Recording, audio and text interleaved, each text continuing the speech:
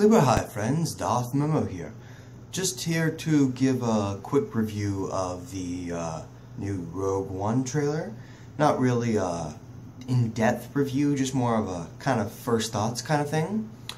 Uh, so definitely a better trailer in terms of revealing plot and stuff. We definitely learned more of um, the whole situation with Jyn and her father and finding the Death Star and all that.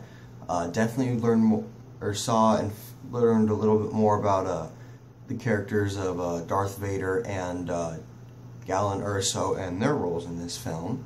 Um, had some good music. I liked the uses of the Force theme.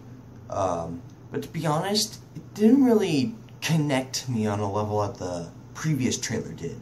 That one felt more exciting. Um, kind of fast paced, and uh, the music of that trailer I felt was better. This was still a good trailer, but uh, the previous one definitely hit me more for the movie than uh, this one did. But it was still a good trailer, and I'm not complaining. I was glad we got it. So uh, until uh, the movie comes, this is it. Darth Momo, out. Thanks for watching.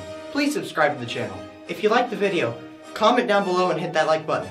Oh, and check out some of my other videos. I'm sure you'll find them light.